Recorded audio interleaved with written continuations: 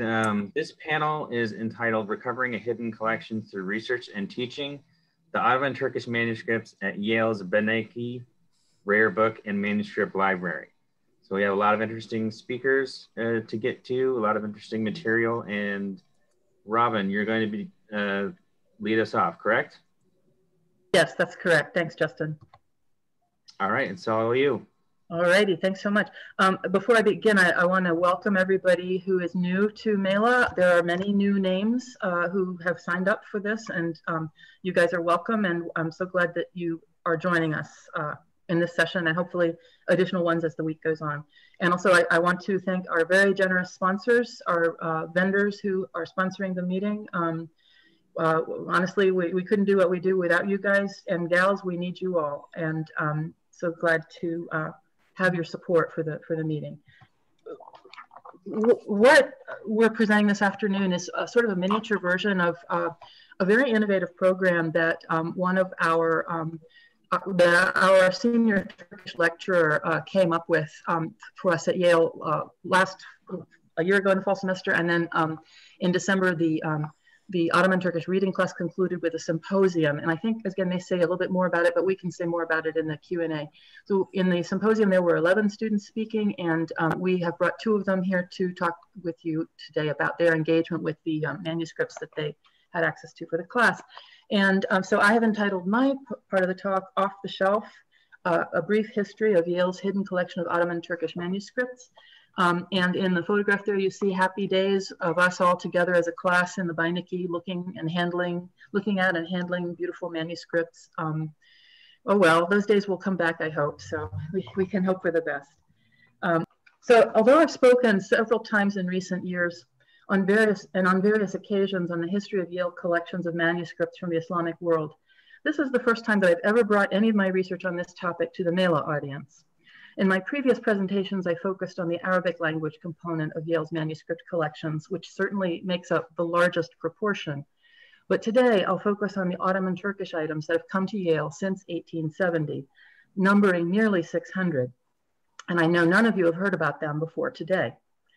They were not added as the result of conscious collection development plan by our predecessors among the faculty and library staff at Yale.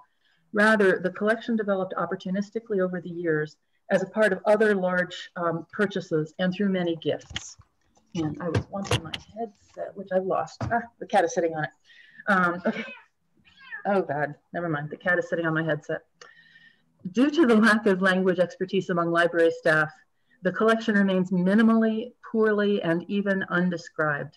Although students and other experts, such as my dear colleague, Dr. Özgen Felek, from whom you will hear in a few more minutes, have volunteered to correct this um, but their offer has not been taken up. Uh, such a collection is by its very nature hard to access. It requires a great deal of work and dedication from librarians and researchers to unlock its secrets and to expose it to the daylight. This is the very definition of a hidden collection. Now, I'm always interested in, in finding out what uh, Yale students could have known about um, the, the non-Western world. And so um, I had a look at the um, the first published catalog of the, of the Yale College Library, which was published in 1743. And it indicates that even at such an early date, Yale students had access to basic bibliographic information about non-Western languages and non-Western liter literary culture. So in the catalog, um, the title page on the left-hand side of your screen, it lists a 1706 title, Introductio ad Linguas Orientales. So that book was in the um, uh, the, the Yale College Library's uh, collections um, in 1743.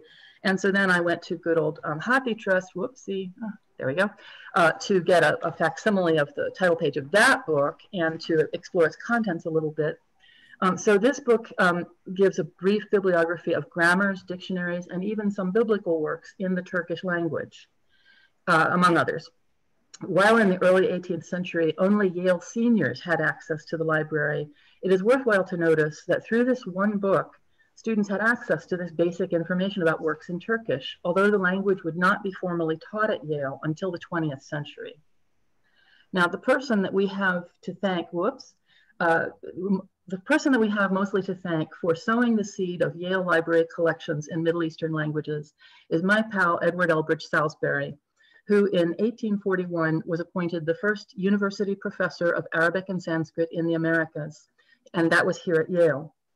To develop his expertise in these languages, Salisbury made several extended visits to Europe in the first half of the 19th century to study with the famous Orientalists of France and Germany, as these languages were not yet taught in the United States.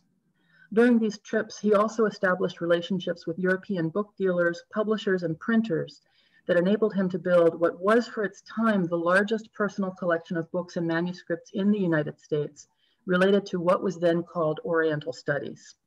This collection was kept in his New Haven house, which you see there in the lower left, and he left the doors unlocked so that Yale students and other friends could make use of it. So I found in the archives these various little notes. I went into your house and I borrowed your book. Uh, it's just really astonishing. Uh, it turns out nobody in New Haven locked their doors in those days. Um, unfortunately, the house is gone. Um, it was demolished in the mid, to, it was in the 50s, I think, and now it, it was a parking lot for a while, and now it is the home of the uh, county courthouse. Uh, so that uh, lovely home with its garden is no longer there. Salisbury was primarily an Arabist and readily confessed his ignorance of Ottoman Turkish. But when he donated his personal library to Yale in 1870, his collection included a few items in Persian and Turkish, including one that is a former de Sacy item. So Silvestre de Sacy, his name was brought up in the previous session, and of course he's the famous French uh, scholar of uh, Oriental languages. And um, this object on the right is the catalog of the um, auction of de Sacy's books um, that took, it held, took place over five years. It took five years because the collection was so enormous to auction off the whole thing. Mm-hmm. We ended up with about 60 manuscripts that had belonged to de Sacy um, that were acquired from various French book dealers. And the arrow is pointing to one of the ones that we got that includes within it um, the Tofeya Shahidi, which you're going to hear a little bit more about um, in this session this afternoon. Um, another item that Salisbury acquired and donated was uh, this one, which is described as a passport from a pasha. Um, unfortunately, I'm not able to tell what it actually is, but maybe some of our Ottomanists can help us out. And then also this very interesting item, next, come on, uh, whoops, oh, for heaven's sakes, uh, which is an almanac, um, and it's a scroll-shaped object. Um, so it rolls out quite long, and it has this very attractive um, uh, uh, headpiece with wonderful uh, military elements uh, that are familiar, I think, to um, those of us who enjoy Turkish soap operas. Um, so, so his donation in 1870 amounted to some 4,500 items that were principally printed works, but also included 103 manuscript volumes. This collection and the Landberg collection, about which I will also say a little more, were reckoned among Yale's treasures in the magisterial 11th edition of the Encyclopedia Britannica. So in 1900, thanks to connections between Yale professor of Semitic languages Charles Cutler Torrey and the independent Swedish scholar Count Carlo Landberg, and enabled by the philanthropy of banker and financier Morris Ketchum Jesup, Yale was able to obtain a collection of 842 manuscripts bringing Yale's total collection to more than 1,000 items. But the Ottoman Turkish component of this was still quite small. Um, and uh, let me see, uh, very, we were beaten in, in 1900, we had a thousand and in 1901, Princeton got a great big collection. So um, they beat us, so pretty quick. But it's not a, it's not a, a battle, Oops, Sorry about this, the mouse is very sensitive. Okay. Um, about the Landberg collection. So like the Salisbury collection, it is principally in Arabic with only a few items in Persian or Turkish. The 1956 catalog created by Leon Nemoy lists only three Turkish manuscripts, and I've pointed to two of them in the catalog here. And I've got pictures of them there on the right. So those are the ones that are only described as Turkish in um, Nemoy's catalog. Um, neither Landberg nor Nemoy were able to read Ottoman Turkish, and while Nemoy based his catalog on Landberg's, provided at the time of the 1900 purchase, neither of them attempted to provide even basic description. But fortunately, the catalog records for these items, which you can find using the call numbers that are actually visible on the screen, um, somebody did a better job with the actual online catalog records, so they are better filled out. So this slide here is our friend Leon Nemoy. Um, who was, uh, well, his dates are there. He was here a long time, 43 years. Um, and uh, this is his 1956 catalog of the um, 1,466 items that were principally in Arabic that were received between 1870 and 1956. and um, then um, these are his original catalog cards, which are kept in a box in the Beinecke. Um, and uh, I love this humble little note that you see here on the right. Um, all information given on these cards must uh, be regarded as tentative and subject to revision by a competent specialist in each field. And then he signs it very humbly, just as LN. Um, and uh, you can, uh, you, I'm not sure if you can see um, that the uh, some catalog cards are handwritten, but then at some point, our friend uh, Leon got a typewriter, and so he was able to type his um, his Ottoman script uh, cataloging uh, information for his cards.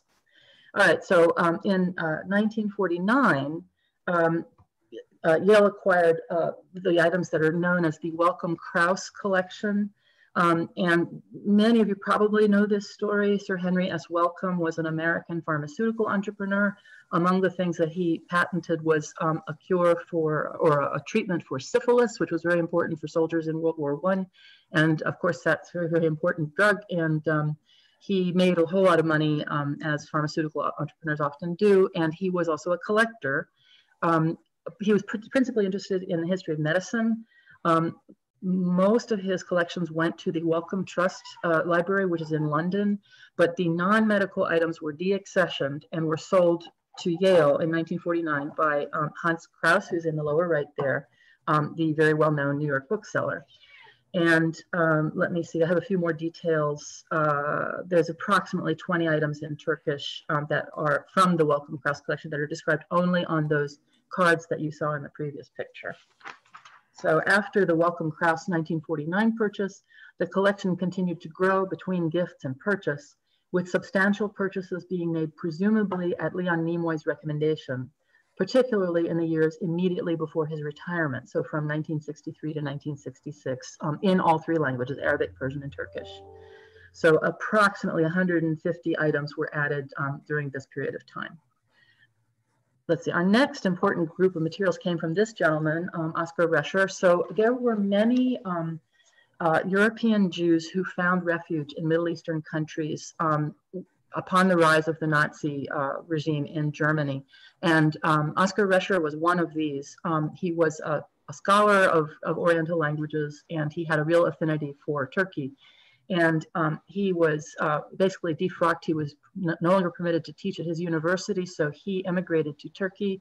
He took uh, Turkish citizenship. He became a Muslim, and um, worked uh, in, in, various capacities as a, as a librarian and um, uh, and as a scholar and a, an, an, instructor. Um, and uh, died in Turkey. Um, and I have the photograph on the left uh, because he is said to have lived in a house that was on the Bosphorus that he shared with many cats. And of course, the cats of Turkey are famous, uh, thanks to a, a, documentary that you've probably most of you seen, especially if you like cats, like I do. Um, but in any case, so um, we had been acquiring stuff from Oskar Rescher um, in small quantities um, uh, from the late 60s. Uh, but um, after his death in 1972, um, we purchased a, the, what is called the Rescher collection. Um, let me see, uh, I believe, uh, let's see, the, the Rescher purchase included 82 items in Turkish, um, which are cataloged in the Turkish manuscript supplement sequence. And they were described in a 1972 article authored by Leon Nemoy. So I blatantly stole these beautiful images from Özgen Felek's uh, Twitter account. Um, Özgen will tell you the story of uh, her engagement with this collection. Um, and she, thank heavens, uh, tweeted uh, voluminously about what she was finding in the collection. Um, and uh, because the photographs were so lovely, um, I just I just went ahead and stole them. But I have credited her, her as you can see on the slide. Um, so uh, after 1972, um, acquisitions information for Turkish items in the collection is less available. However, acquisitions have continued. And the most notable large purchase was the 2005 acquisition of some 1,200 items from the Hartford Seminary manuscript collection. This group includes, well, uh, I say an unknown number of Turkish items that were not described in its hand list, but Özgen has figured this all out and she will tell you about it. Now, um, in our collections, of course, not all Ottoman objects, whoops, are manuscripts. Um, whoops, we have, I'm sorry, not all Ottoman objects are in Ottoman Turkish, what I need to say. So we have things that are obviously Ottoman objects that are actually in Arabic. So, well, this object on the right is this very beautiful um, it's a gift book for a student, and the Arabic that's in it is not much. It's really mostly these kinds of uh, pious phrases that you see in the top uh, right here. And then, of course, on the left is the very famous Dala'il al Khairat, which is uh, a, a, basically a prayer book, an extremely popular uh, work, which is written in Arabic, but in the margins, there's commentary here in Ottoman Turkish. But this is, um, you know, the, the text itself is Arabic, but um, it is clearly an Ottoman object and it has Ottoman Turkish uh, annotations. And so not only are, is it true that not all Ottoman objects are in Ottoman Turkish, not all Ottoman objects are manuscripts that are in our collection. So um, recently I acquired these wonderful um, historic periodicals. Uh, I'm, uh, some of you may know, I'm a, I'm a total fool for late 19th and early 20th century periodicals from um, Middle Eastern countries. They're fascinating. The artwork is incredible. Um, they're amazing records of their time. Um, so I got these uh, recently and added them to the collection. So um, now we just heard this morning about um, the uh, manuscripts of the modern world, Muslim world manuscript project uh, at Penn. Um, uh, you know, I, I, said that our collection is not cataloged, and um, I am hoping to emulate this project um, for Yale, um, involve Kelly and Emma, you know, to uh, maybe advise us on how to do something like it for Yale. So we will see how that goes. Um, and then the other thing that I thought was interesting is I'm about to wrap up. Um, when I was working on this whole thing with, again, a year ago, um, and learning about Oskar Rescher and um, uh, his contributions to uh, scholarship and to our collections, I happened to get an email from a researcher like the day before our symposium. So our symposium was on the 11th of December, and I got this email the day before from some Turkish scholars who were um, trying to learn more about Oskar Rescher's life. And um, so I just like to know that you know people are still interested in these uh, stories, in these people, um, in these figures who um, have sort of helped move this stuff around and help to make us all uh, aware of, of these kinds of materials. And I'm also in touch with Oskar Rescher's great nephew. He is a, a professor of philosophy at um, University of Pittsburgh, and um, he has actually donated some uh, interesting uh, books from his own personal collection uh, on Islamic philosophy to Yale. So uh, you know, it's just nice. These uh, connections persist down through the years. And I'm going to stop there.